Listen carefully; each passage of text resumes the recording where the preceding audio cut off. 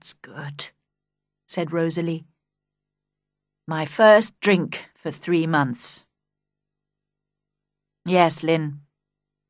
I left the theatre because I was tired of the life. And because I was tired of men.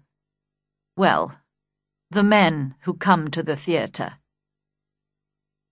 You know we have to fight them off all the time. They're animals. They ask you to go out with them. They buy you a drink or two. And then they think that they can do what they want.